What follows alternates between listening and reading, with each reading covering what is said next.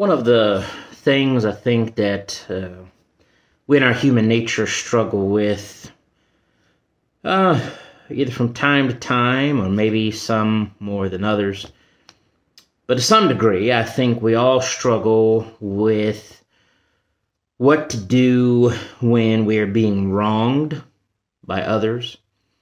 Um, you know, our, our human instinct is to fight back, to get payback, to um, take it into our own hands and to get vengeance for ourselves, uh, to repay others an eye for an eye, a tooth for a tooth, and what they do to us. But the thing is, is God calls us to a higher way of thinking, a higher standard of living. God actually does not want, nor does He let us avenge ourselves. Um, time and time again, uh, really throughout the Old Testament, and then uh, maybe we're even more familiar with the times in the New Testament that we're actually taught not to repay evil for evil. We're not to seek an eye for an eye and a tooth for a tooth. We're not to take vengeance into our own hands.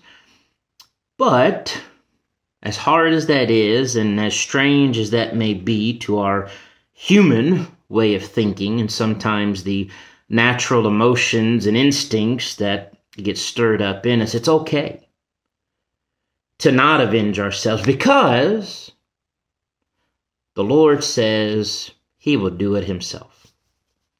When the Lord tells us not to avenge ourselves, when the Lord tells us not to repay evil for evil, he at the same time tells us that vengeance, the Lord says, vengeance is mine, I will repay. The Lord tells us to be still, to seek peace and pursue it, to, to, to give love, to, to hold back from doing evil, even though, yes, there may be some who are, are doing wrong. And that's not to say that you know, there is not to be some, you know, standard of law and justice and punishment in our society and world today. But on, a, on an individual basis, on a personal level, what God expects of us is to put our faith and our trust and our hope in Him and let God deal with all the all the people who may be wronging us and uh, pray for them, of course. Um, certainly, that's a lesson for another day. But ultimately, to trust that if there are those who are doing wrong and doing evil, God says to leave it in His hands. God will take care of it. And we can take strength and comfort and hope in that. And knowing that God will avenge, God will give justice, God will take care of those who do evil. And that's what we actually see. David knew a thing or two about that as David strived to live his life for the Lord and put his faith and trust in the Lord. And there were certainly times David could have taken vengeance into his own hands, but he didn't. And there were many times that David was being affected and persecuted and um, harmed by his, or threatened by his enemies. But David constantly put his faith and trust in the Lord, knowing that the Lord would save, the Lord would avenge, the Lord would take care of whatever needed to be taken care of in his own time and in his own way. And that's what we see in Psalm 35. If you want to turn there with me, let's let's think about Psalm 35. Let's listen to what David is saying here about the Lord and about our attitude and our reliance and trust in God and our peace of mind and knowing that the Lord will avenge and praying for the Lord to avenge and take justice on those who refuse to repent, on those who choose to continue to do evil and mistreat others and sin. So let's look at this together. Psalm 35, beginning in verse 1, when David starts by saying to the Lord, Contend for me or plead my cause, O Lord, with those who strive with me. David asks the Lord, then fight against those who fight against me. Take hold of shield and buckler and stand up for my help. Also draw out the spear and stop those who pursue me. Say to my soul, I am your salvation. You know, David calling upon the Lord to help him against his enemies and those trying to attack him and harm him. But I think it's powerful that he says, in really a, a reflective sense, of reminding himself, you know, say to my soul, or wanting the Lord to remind David and say to David, David, I am your salvation. And for David to remember, God is my salvation, which is what we all need to remember. To hear from the Lord, to repeat to ourselves, the Lord is our avenger, the Lord is our salvation. And so David goes on to say, Let those be put to shame and brought to dishonor who seek after my life. Let those be turned back and brought to confusion who plot my hurt. Let them be like chaff before the wind, and let the angel of the Lord chase them. Let their way be dark and slippery, and let the angel of the Lord pursue them. For without cause they have hidden their net for me in a pit which they have dug without cause for my life. Let destruction come upon him unexpectedly, and let his net that he has hidden catch himself. Into that very destruction, let him fall. And my soul, David says, knowing that the Lord, I mean, David's praying to the Lord, David's uh, calling on the Lord for help, for salvation, and, he, and, and for the Lord to you know, turn back, turn away David's enemies. He says, And then my soul, verse 9, my soul will be joyful in the Lord. It will rejoice in his salvation. All my bones will say, Lord, who is like you? Delivering the poor from him who is too strong for him. Yes, the poor and the needy from him who plunders him. Who is like the Lord who saves? What a beautiful thought. Fierce witnesses, verse 11. Fierce witnesses rise up they ask me things that I do not know. They reward me evil for good to the sorrow of my soul. But as for me, when they were sick, uh, this is powerful right here. Let's pay attention, of course, to all of it. But notice what David says the kind of heart we're to have, the kind of heart that Jesus teaches us to have, the kind of heart that God has always taught to have. David says, But as for me, while they were doing evil to me, even though I was doing good. He says, When they were sick, my clothing was sackcloth. I humbled myself with fasting, and my prayer would return to my own heart. I paced about as though he were my friend or brother. I bowed down heavily as one who mourns for his mother. David says,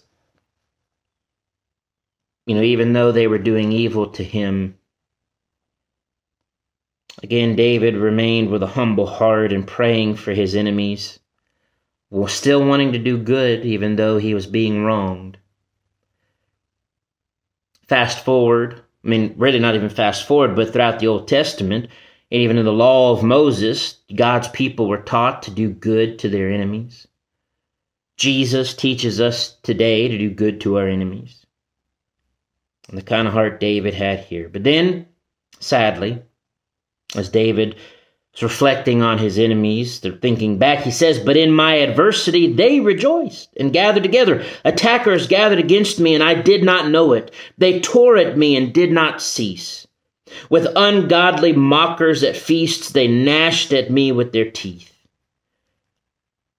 And so while David was stumbling, while David was having adversity, they weren't praying for him. They were seeking to attack. And so then David says, verse 17, Lord, how long will you look on? Rescue me from their destructions, my precious life from the lions. I will give you thanks in the great assembly. I will praise you among many people. Let them not rejoice over me who are wrongfully my enemies, nor let them wink with the eye who hate me without a cause excuse me, for they do not speak peace. They do not speak peace, but they devise deceitful matters against the quiet ones in the land. They also opened their mouth wide against me and said, Aha, aha, our eyes have seen it. But this you have seen, O Lord. Do not keep silence. O Lord, do not be far from me. Stir up yourself and awake to my vindication, to my cause, my God and my Lord. Vindicate me, O Lord, my God, according to your righteousness.